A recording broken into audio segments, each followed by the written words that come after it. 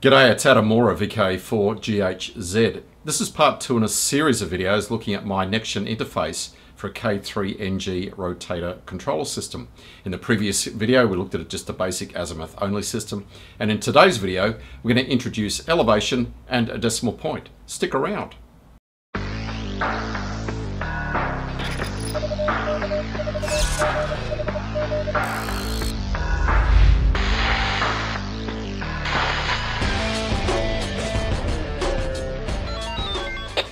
Alright, let's take a quick look at my rotator features.h file while it's compiling. You can see I've defined feature elevation control and my elevation sensor is an ADXL345 using the Adafruit library. Alright, let's upload it.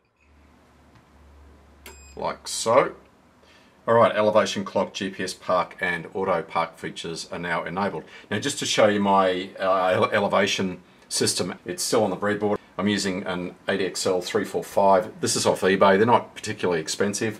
It's an I2C device. It's communicating via a 30 meter run of Cat5 cable via a pair of P82B96 bus transceivers, one at either end. And to complement my G800 DXA azimuth rotator, I'm using one of these um, relatively inexpensive uh, linear actuators off eBay. Now as you see, as I tilt the ADXL 345 45 degrees there, you'll see the reading change.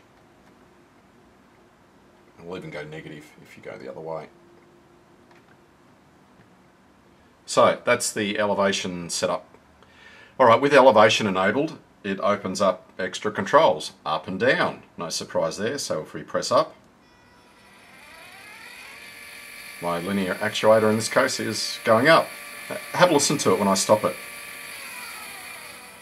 Hear that? You can. That's the slow start and slow stop that you're hearing.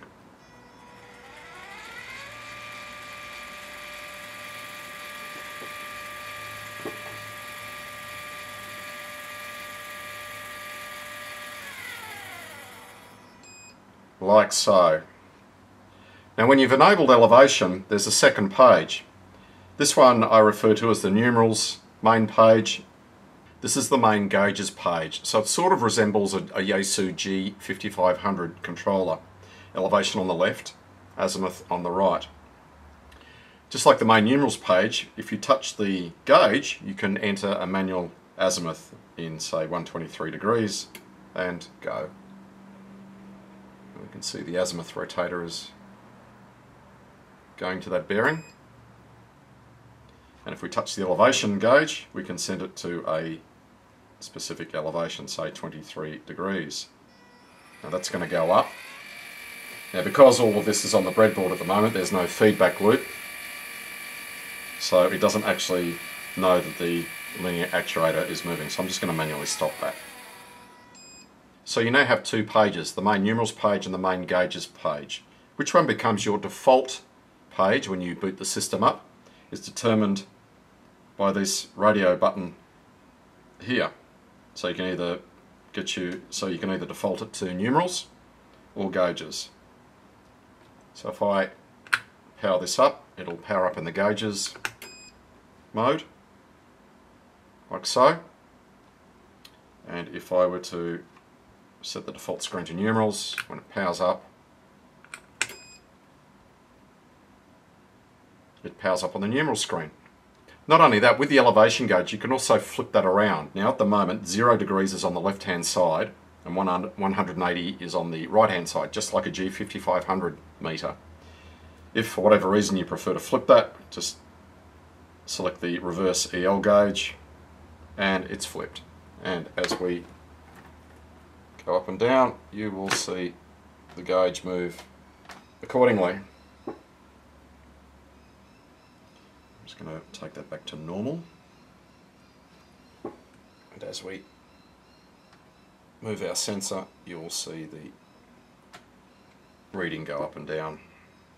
Let's introduce a decimal place. Alright, on my rotator settings.h file, I found the line here, define decimal places. We'll go to one decimal place, compile and upload that to the microcontroller. There we go. Now I've defaulted back to the main numeral screen. We've got an extra decimal place there. Which also appears on the gauges page. Alright, when you've enabled a decimal point, the keypad changes. Believe it or not, you've got access to a decimal point now. So I could enter, uh, say, 179.8 degrees, and off we go.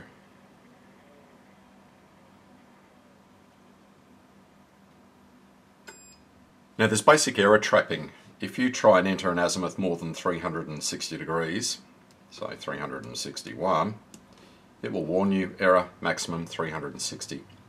That error message stays there for two seconds and then will disappear. So then you could backspace and enter a valid input.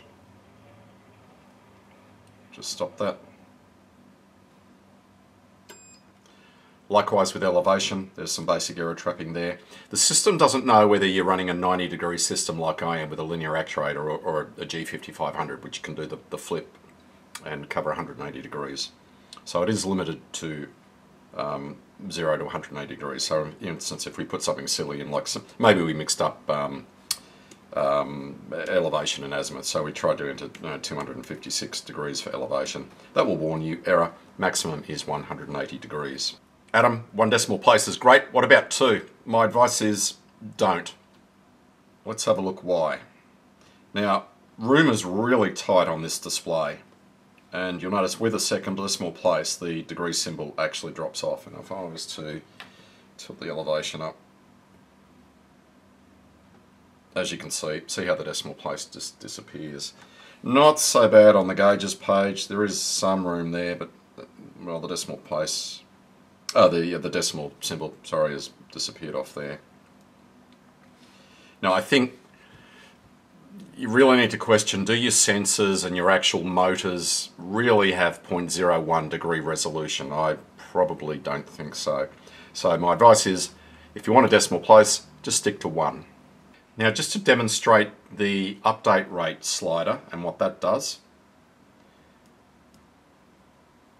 I'm going to speed this up down to 100 milliseconds. Let's go back to the main page and now you can see the the data's updating every 100 milliseconds.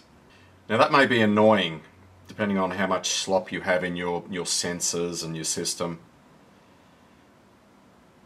So we can slow that down. So that was 100 milliseconds. This is what it looks like with one second updates. Oops.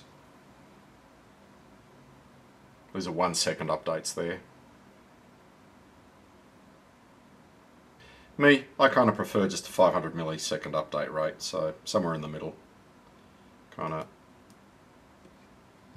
suits me. Now colours. The colours you set here will flow on the on the main numerals page will flow through to the gauges page. So for instance, if I want to make my elevation uh, um, say yellow on red on the main numerals page here, it will also have that same colour scheme on the gauges page. Now you can only set the colours on the main numerals page. Azimuth, let's make that uh, blue, um, uh, blue and yellow, like so. And you'll see that colour scheme also appear on your gauges page. Now on the gauges page you also have familiar buttons for enabling your preset page like so. And we'll go to say preset 2. Set ZL1RQ, g'day Alan if you're watching. Down. Um, because we don't have any feedback with the ADXL345 linear actuator at the moment. And you can also park your system. As you can see there. Alright, so that's what elevation looks like when you've added that to your K3NG rotator controller system on a VK4GH Z Nextion display. Whew, that's a mouthful. In the next video, we're going to look at moon and sun tracking.